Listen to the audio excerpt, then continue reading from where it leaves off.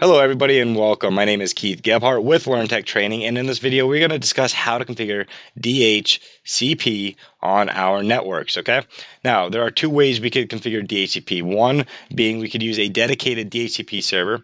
The other, we could configure our router to run DHCP. Now, you're wondering why do we have four different topologies here? Well, a lot of people keep asking me, how do you configure DHCP on an inter-VLAN routed network? So I'm going to show you how to do it both ways. We're going to, over here, learn how to configure DHCP in an inter-VLAN routing environment on the router and the same environment using a dedicated DHCP server.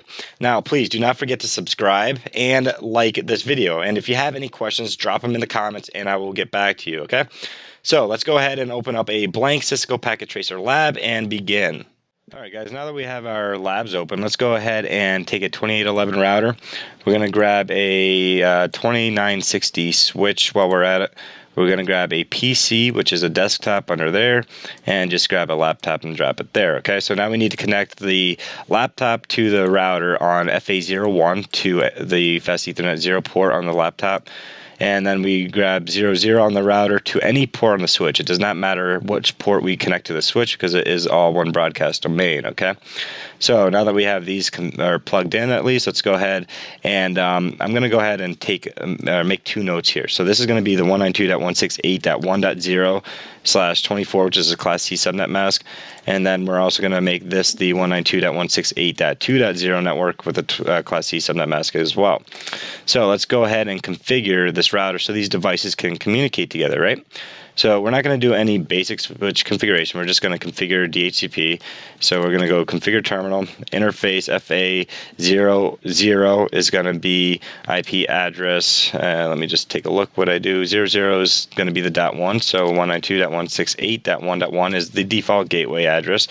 And then we're going to do no shut and then we're going to do an interface FA0 slash 1, which is going to be IP address 192.168.2.1 for the default gateway. Again, Class C subnet mask, no shutdown. And now we need to configure our um, DHCP pool. So if I do IP DHCP, let's go ahead and just question mark that so you can see what it is. Now, we're not relaying anything. We're going to set up a pool, okay? The pool is where it tells the uh, the router to act as a server, if you will. And then you could also notice we could exclude addresses. Now, in here, we're not going to exclude any addresses, but you may want to. You know, if you have uh, a couple web servers sticking off the end of this and you're running DHCP, you want those web servers statically. You don't want those um, leases of the DHCP address on those web servers changing. So you're not going to use uh, DHCP on your web servers. So that would be an instance where you would exclude addresses. But again, we are not going to for this example. So I'm just going to type in pool, and then again, you need to type in a name. So we're going to do IP DHCP pool dot one for the dot one network, and then we need to set a default router. Okay, this is essentially your default gateway. So 192.168.1.1, and then we need to give it its network address. So the network address for this network is 192.168.1.0 with a Class C subnet mask, right? 20 uh, CIDR notations 24, and then we could go ahead and exit that. But now we only have one side working. So if I go ahead and click this computer desktop and I configure, I just hit DHCP, it's going to work, right? We're getting everything loaded, but this guy is not configured yet. So we need to configure the right side of the 2.0 network to have a DHCP pool. So let's go ahead and do a IP DHCP pool name dot, oh, not name, just dot two. And then we're going to do a default router 192.168.2.1 again because that is the default gateway we gave that interface.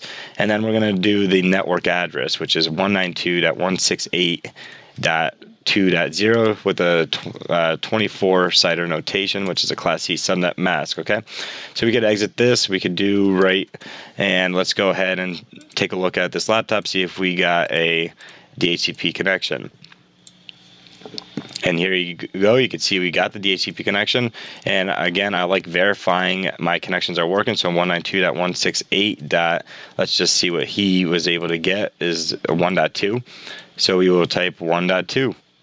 And it's going to send its ARP broadcast out find the MAC addresses to the IP addresses, and bada bing, bada boom, guys, we are running. So that is DHCP configured on a router, so the router's acting as a DHCP server. So I'm just going to go ahead and throw that up there in the corner. So the same scenario where we have only two subnets, right? We're going to go ahead and create another router. This is going to be the 2811 router again. We're going to grab two switches this time.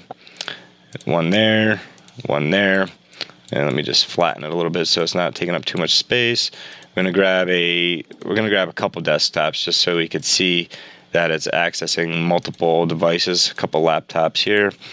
And then let's go ahead and connect these devices. Oh, I forgot my server, right? We need a server to act as a DNS. Now we can connect these. So the server is going to go into any port on the switch. Again, it does not matter. We are not separating broadcast domains on the switch. We are not VLANing these switches. So it does not matter. All ports on a Cisco switch by default are what? VLAN 1. So one broadcast domain. We don't need to worry about it. Let's go ahead and plug the switch into uh, port 0, 0 on the router again. And then we're going to go ahead and plug the router from 0, 1 into the right side Again, it does not matter which switch ports you use. Right into the laptop. And again, right into the laptop. Okay. So the first thing we need to do is um, set up our DHCP server. So I'm just going to make a note here, DHCP server. Okay. In fact, I'm going to underscore it so we can do it again. So I'm going to set up this DHCP server. I'm going to go to the desktop and static address. Remember, our servers, we want static addressing so they don't uh, change lease address. So the DHCP lease can time out or reset it if a device isn't being recognized over the network long enough. It'll get rid of it and give it to somebody else. Okay. So we don't want this address change. So we're going to keep this static. So it's going to be 192.168.1.2 because I want to use .1 for my default gateway. 192.168.1.1, and we're not worrying about DNS server. We do not need to configure that at this time.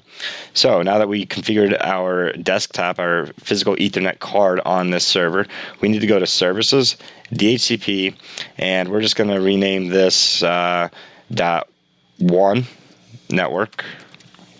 Default gateway is going to be 192.168.1.1 and then we're going to start our IP addresses at 3 since this guy is .2 we don't want to overlap him. And we're just going to give it I don't know 20 different IP addresses okay? So I'm going to save this. It's going to create a new one because you can't for some reason delete the default one on uh, Cisco Packet Tracer here. And now we need to create a second one. So I'm just going to go ahead and type in .2 network.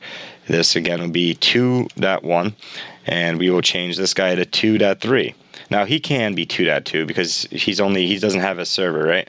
So again, we will use 20 addresses and we're going to add that and we are good. So the only thing else we have to do is turn this on. Now when I turn that on, if I go to any of these computers, you're going to see that they indeed do in fact acquire an IP address through DHCP. And again, if I check him out, he will again acquire his DHCP addressing, okay? Now, whoop, I got to click DHCP. So now that they acquired their DHCP, we need to configure the router to pass that information along. And it is simple, simple, simple. So we just go no, enable, configure terminal. And we need to configure the interfaces as usual. Interface FA00, that's going to be IP address uh, 192.168.1.1, 255.255.255.0. And now we need to give what's called the IP helper, okay? Help address, IP helper address. And that's going to be the address of our DHCP server. And we gave that an address of 192.168.1.2. Okay. Now, once we do that, we're good. We just need to do no shutdown. All right. Now we need to do interface FA01, IP address 192.168.2.1, 255.255.255.0, and then again IP helper address 192.168.1.2 for that server address, and then no shutdown. Okay. So now that that's up, do right just so it saves it, and we could go ahead and give this a minute. It's going to take a little bit. You can see these link status lights are still coming on.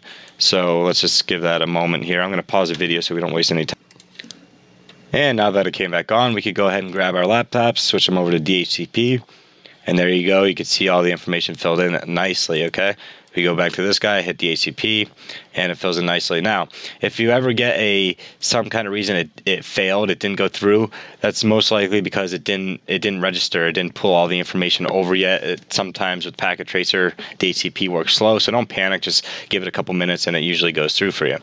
So the next example we need to do is showing how to um, implement DHCP on a VLAN network. Okay, so inter VLAN routing network, we want to add DHCP. So we're going to again take a 2811 router, and we're going to grab our switch, which is my favorite, the 2960, and then we're just going to grab three PCs. Okay, and one, two and uh, where's my third one? Three.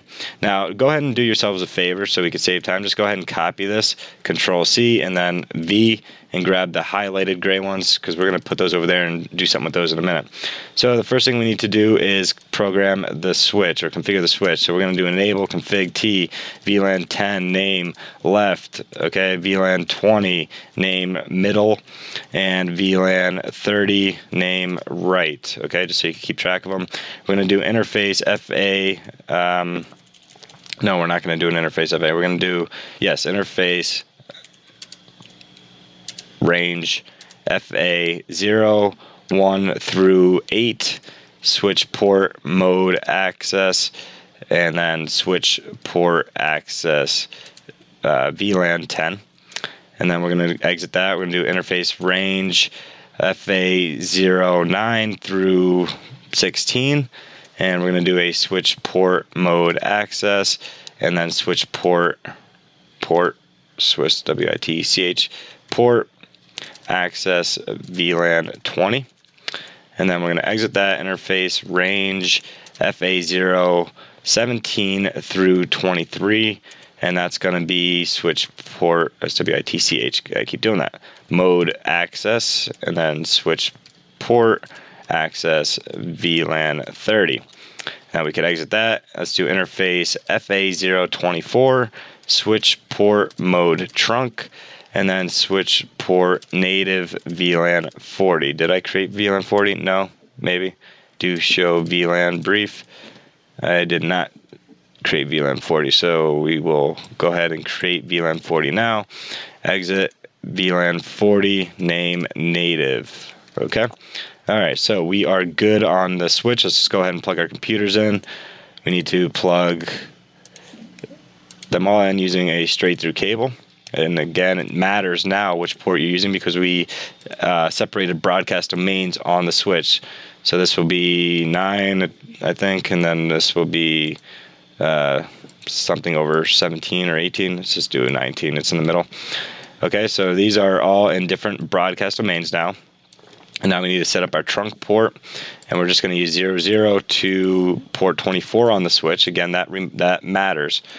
Now we need to go into the router. No, we need to do um, enable config T, and then we need to do interface FA 0 slash 0 dot 1 encapsulation dot 1 Q 10 and then we need to do IP address 192.168.1.1 255, 255, And then we also need to do, um, oh, exit interface FA0. I forgot we're not putting a router on this or a, ser- a dedicated server on here. So interface FA00 encap dot 1Q20 IP address 192.168.2.1 255 255 255.0 and then end or exit and then we need to do interface fa 0.0.3 and cap that one q 30